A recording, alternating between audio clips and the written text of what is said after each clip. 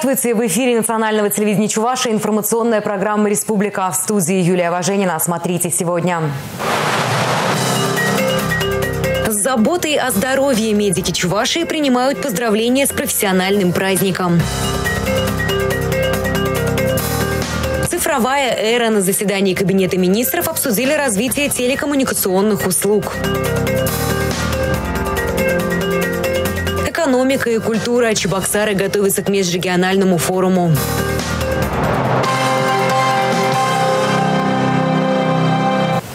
Развитие цифровых и информационных технологий, поддержка учителей социально-некоммерческих организаций. Это ключевые темы очередного заседания Кабинета министров. Тему продолжит Дмитрий Ковалев. Перед тем, как обсудить вопросы повестки дня, глава региона подвел первые итоги единого госэкзамена. Его результаты превосходят ожидания. В республике только на ЕГЭ по математике более 500 выпускников преодолели порог 80 баллов. 9 э, школьников по математике сдали ЕГЭ на 100 баллов. Это во-первых. Во-вторых, касаясь э, другого базового предмета, это химия.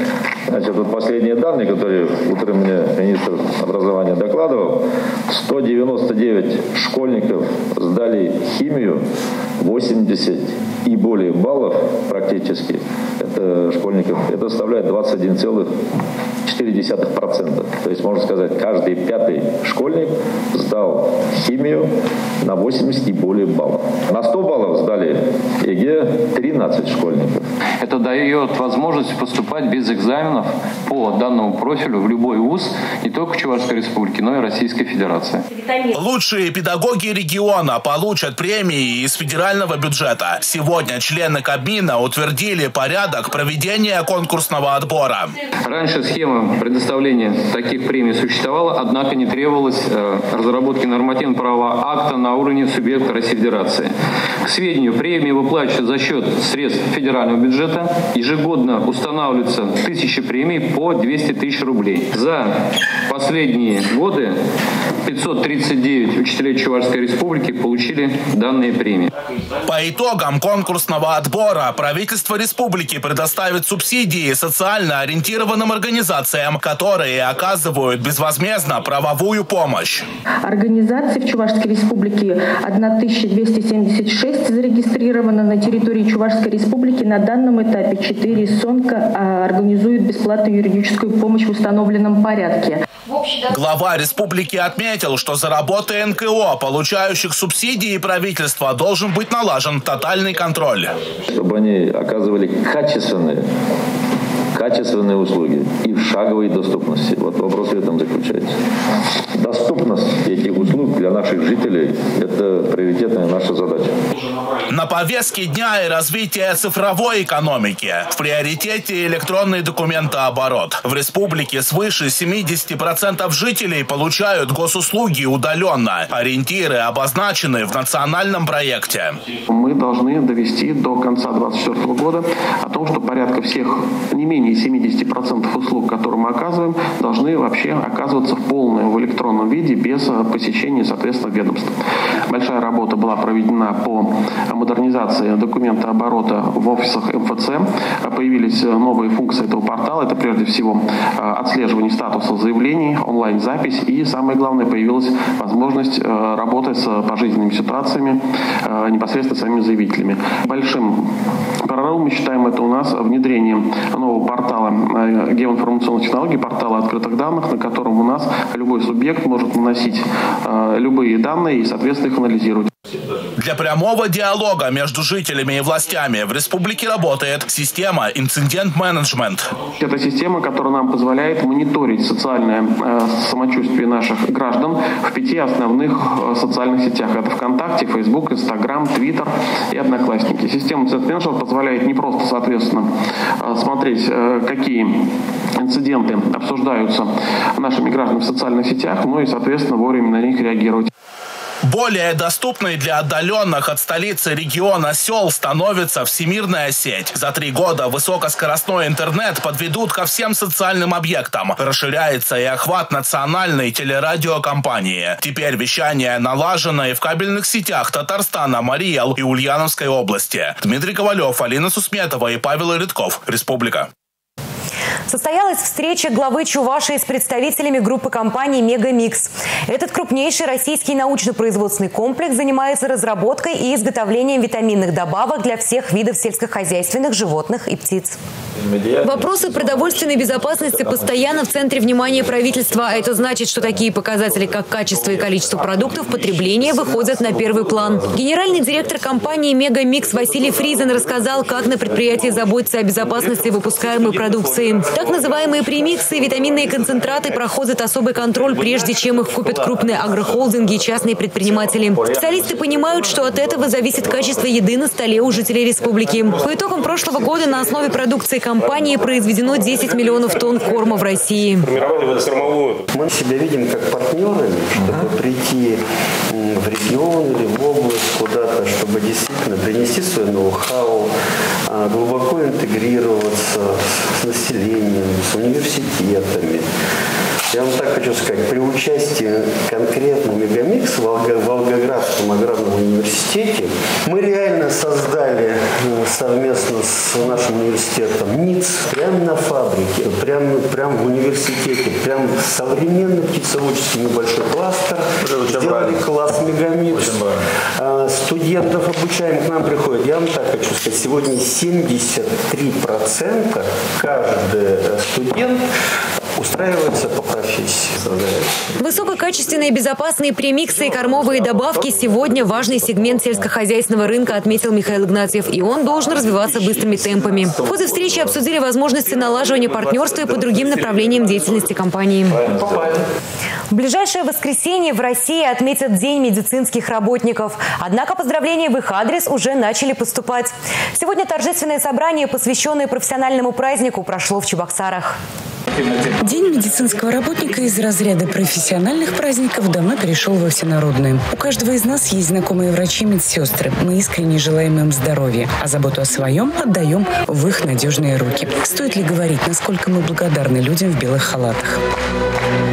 последние годы, и статистические данные они имеются, сократились смертность людей по основным заболеваниям, которые у нас первой тройке находятся. Это очень значимо. Во-вторых, на сегодняшний день поликлиники, больницы, ФАП, офисы все работают в шаговой доступности. Где не хватает, сегодня 12 мобильных практически комплексов выезжают и тоже в шаговой доступности оказывают. Инвестиции в здравоохранение растут год от года. В прошлом в отрасль вложено около 19 миллиардов рублей, на этот запланировано почти 21 миллиард. За несколько последних лет объемы высокотехнологичной медицинской помощи выросли до 80%. В клиниках Чуваши выполняют сложнейшие онкологические, кардиологические, ортопедические и офтальмологические операции. Уровень младенческой смертности у нас один из самых низких в России. Мы с вами очень много сделали в проектах, которые инициированы были Министерством здравоохранения Российской Федерации. Это бережливо производство. Вот в фильме вы посмотрели, и сами вы чувствуете, как меняются наши учреждения, как меняется облик наших учреждений. Медицина – одно из направлений, где постоянное повышение квалификации – осознанная необходимость. За каждой победой в профессиональном конкурсе стоит уникальная технология, научное открытие, новая схема лечения. А еще умение сопереживать, деятельно сочувствовать своим пациентам. Как у победителей проекта «Спасибо, доктор», «Спасибо, медсестра». Поэтому команда, начиная с руководства, вот, заканчивая моими средним медицинским персоналом, моими помощниками, мы все в команде и добились вот такого признания. Я очень горда да? Вот, мне очень приятно. Почти тысячи человек в зале и ни одного белого халата. По случаю праздника врачи, медсестры, санитары, лаборанты облачились в парадные костюмы и блеснули талантами. Учреждения здравоохранения постоянно соревнуются между собой в различных направлениях, из которых самые массовые – спорт и танцы. Это полезно не только для физического, но и для душевного здоровья, как профилактика эмоционального выгорания. Елена Гальперина, Андрей Шоклев, Республика.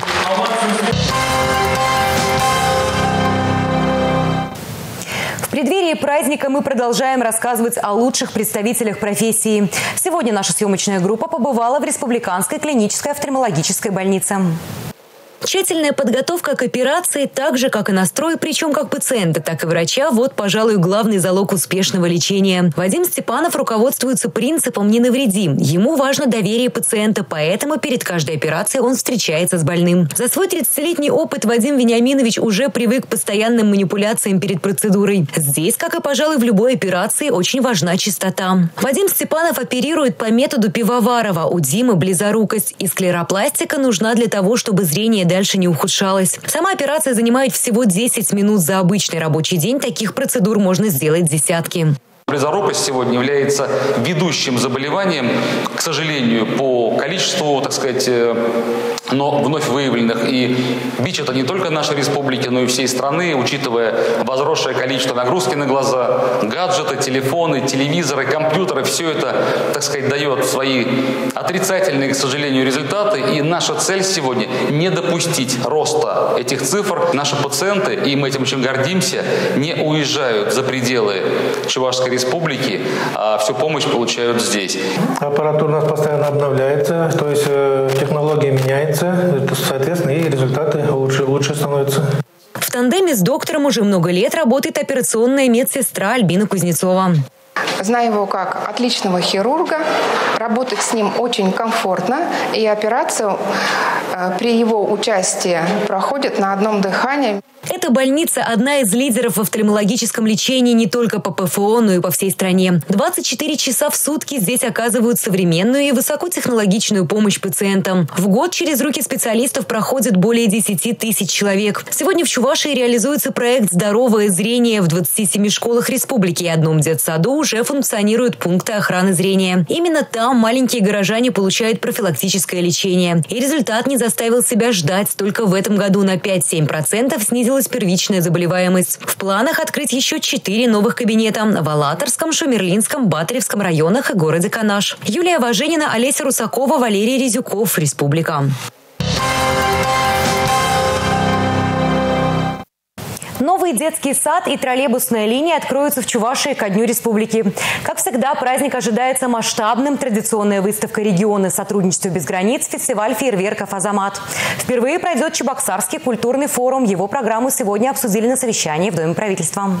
Театр оперы и балета станет центральной площадкой Чебоксарского культурного форума. Стартует он 21 июня. На пленарном заседании будут обсуждать перспективы частных инвестиций в культуру. Основная тема, которую мы планируем обсудить и Зачем бизнесу нужна культура, почему он не инвестирует, как правильно устраивать культурные события, выставки, биеннале. В качестве модераторов планируется участие редакционного директора Forbes Николая Ускова. Сейчас э, ведутся с ним переговоры, и он окончательное э, решение э, назовет сегодня-завтра.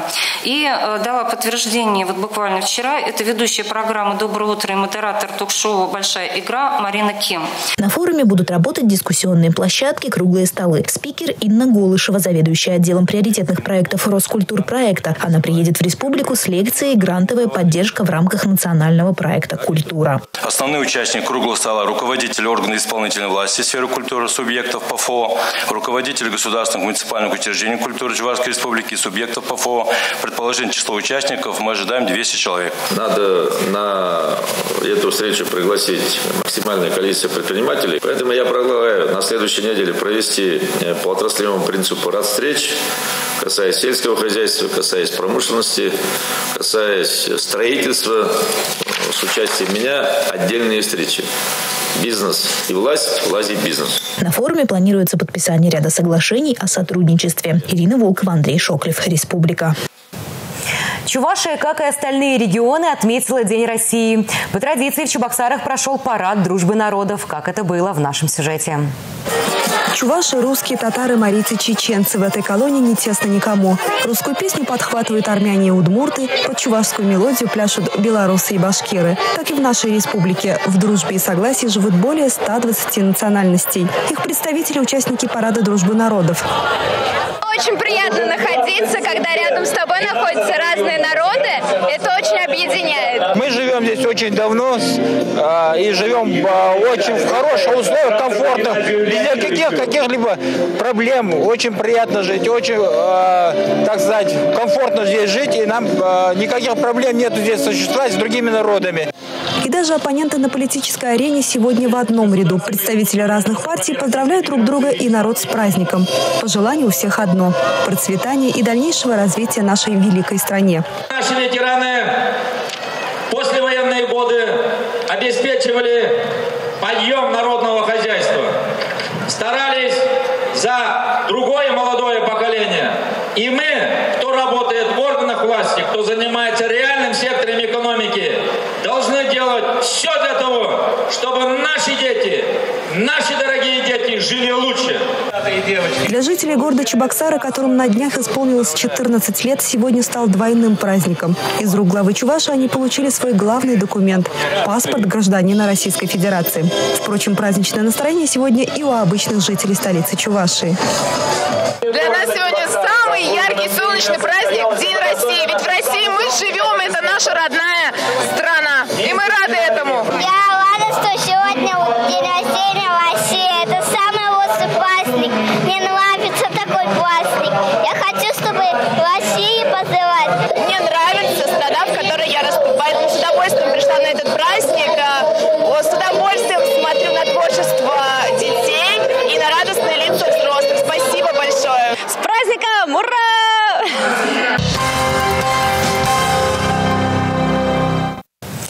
Несанкционированная свалка коммунальных и биологических отходов, незаконно вырытая траншея на землях сельхозназначения. И все это в одном месте, недалеко от деревни Долгий остров Батаревского района. Об экологической проблеме, которую решают несколько месяцев в нашем материале. С виду маленькая речка, по факту траншея с водой. Преграда для тех, кто решил вывести сюда мусор. Еще одна, самая первая. Вот такой самодельный шлагбаум с красноречивой надписью. Это сделали местные жители. Вот в апреле все было иначе. Попасть на эту свалку проще простого. Сюда скидывали бытовой мусор и останки животных. И если коммунальные отходы на поле копились десятилетиями, то рога и копыта появились сравнительно недавно.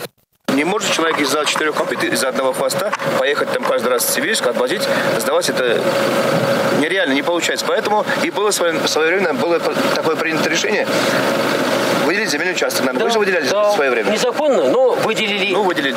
Первыми на нарушение обратили внимание активисты ОНФ. После подключилась природоохранная прокуратура, ветеринарная служба, Россельхознадзор. Все отходы вывезли, землю перекопали, траншею вырыли. Последнее оказалось незаконным. По данному факту был составлен протокол по статье 86, часть 1 КОАП РФ. Э, вынесено постановление о привлечении к административной ответственности с наложением административного штрафа в размере 5000.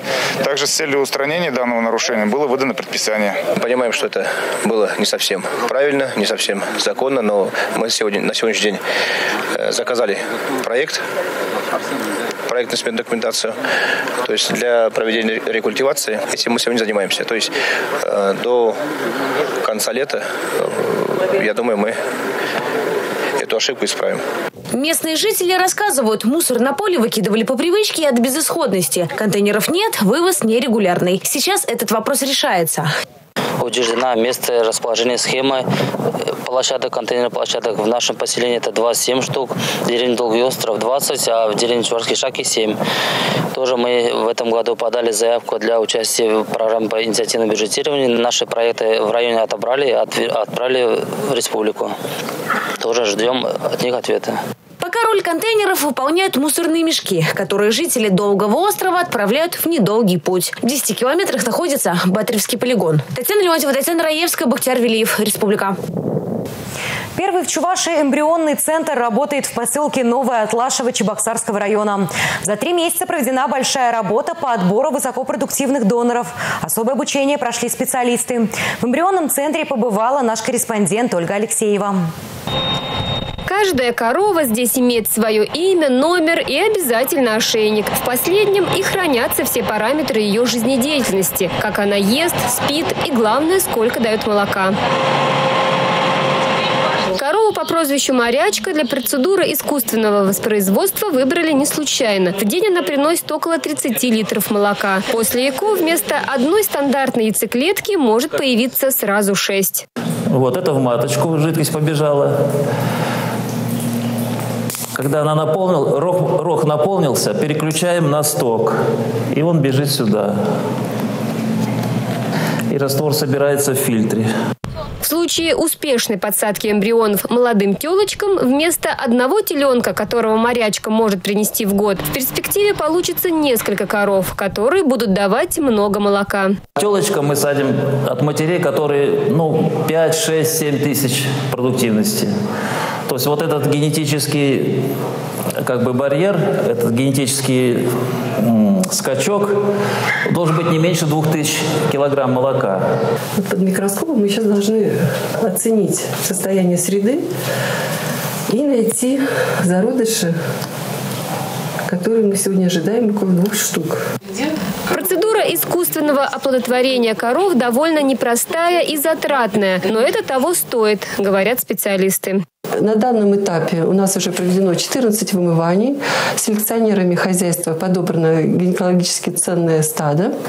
Оно представляется коровами, которые по четвертой, третьей лактации дали около 10 тысяч килограмм молока.